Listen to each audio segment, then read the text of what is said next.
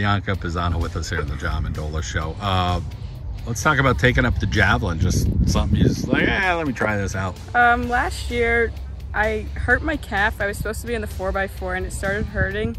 So they took me out of it and they wanted me to still have four events. So Coach Fonte wanted me to go try it. So I went, I tried it two weeks before districts. I was supposed to get fifth and I got second.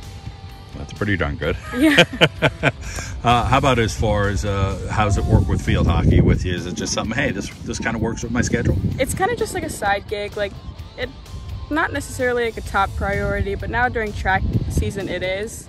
But it doesn't interfere at all with field hockey. And the competitor that you are, you want to get better, right? Yeah. So let's talk about, you know, when you do get focused on the javelin, you know, having big ears and listening to all the people here that right now this Wyoming area program for javelin, it's been huge over the years. Yeah, no, it's really progressed a lot between um, Mark Minichello, who is a state champion, and then Drew Maruk, who is a possible, like he could be, and then Tony, she won districts last year.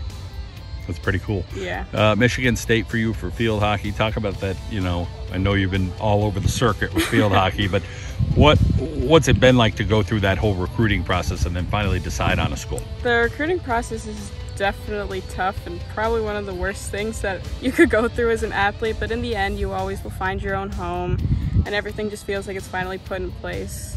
And then that athletic family of yours, talking Yeah. about just always being around sports. I'm sure you probably love football or volleyball or something. Like, are you? Is the whole family constantly into something? Everything. My sister is like really good at gymnastics, Rocco football and track, and then me with field hockey and track. Well, uh, keep up the athletics. We wish you the best at districts. Great to catch up with you. Thank you.